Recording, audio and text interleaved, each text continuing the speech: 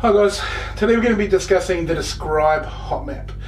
The hot map is used to break down a topic, a thing, a person perhaps, using adjectives, using describing words to try to define some of the characteristics that this thing shows and to get a deeper understanding of this thing and why this thing is how it is.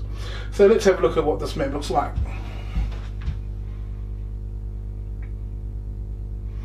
Okay, let's get this up on the board and let's get started. Okay, so I've drawn our solo um, hot map here, our describe hot map, uh, up on our on our light board. Um, so we're just going to go through with an example, using the example of uh, of Sonny Bill Williams, to try to describe some of the characteristics of Sonny Bill, um, and and show you how one really easy way to use the hot map. Okay, so if we were to put um, our our content, our thing, what we're looking at in the middle. Okay, like I said, it's um, Sonny Bill, so SBW. Okay, and then down in these boxes, that's where we start writing our characteristics of Sonny Bill Williams. So one of the characteristics of Sonny Bill um, is that he is 32 years old.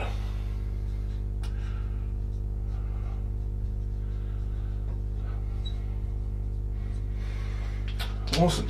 Uh, another characteristic for uh, Sonny Bill is that he was the youngest ever uh, player to get an NRL contract.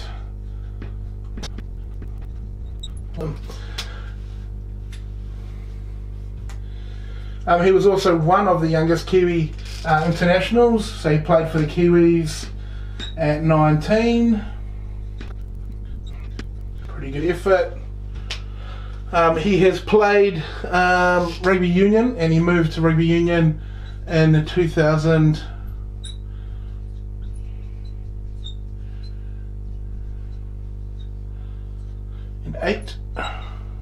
When everyone played in France. Um, he has played over 30 tests for the All Blacks. And he has owned quite a few heavyweight titles in boxing. Alright, so they're just six characteristics of Sonny Bill. Um, obviously, we could fill out a whole bunch more, I'm sure. Now we're going to go through and fill out the because um, boxes off to the sides here, all these wee speech marks. Okay, this is where we figure out, you know, why these things have occurred. Okay, so let's change our color pen. Okay, so moving on to the because um, speech bubbles. Um, so these are the reasons why these things have occurred. Okay, so um, Sonny Bill 32 years old. Why? Because he was born in 19. Uh, 85. Okay. Uh, the youngest ever uh, NRL contract. Why? Uh, this is because he was signed at 17. Um, played for the Kiwis at 19, and the reason why he got to play for them was because he was really carving up in the NRL. So he played some really good footy for the Bulldogs. So we'll just say he was playing awesome. Um, in 2008, he moved over to Union, and the why, the because, is due to um, some a few contract issues, um, salary cap issues. Okay, so we can just write that in there: contract issues. Basically, they'd signed him up on a rookie's um, salary, even though he was pretty sharp, and they'd given him a long contract, and he um, felt like he was worth more than that. Um, over 30 tests for the ABs. Why? Well, because he's got a lot of X factor. He's got that um, offloading ability.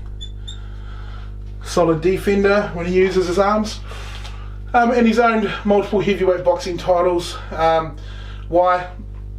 Um, the reason why he's owned them is because he actually had to give them up because of inactivity. And I mean, he's obviously a decent boxer.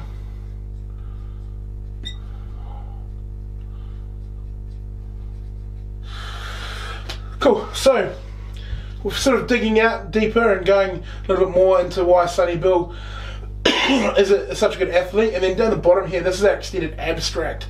Okay, so this is when we start taking this stuff, coming up with an overall generalization about Sonny Bill.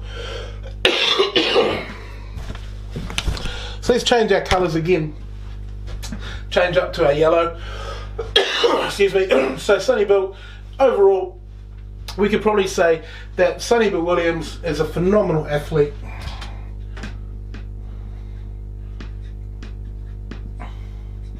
I'm just going to say amazing because I don't know how to spell phenomenal. So there's our statement. And then I've got to back this up. I've got to justify it. So I could pick anything on here. Because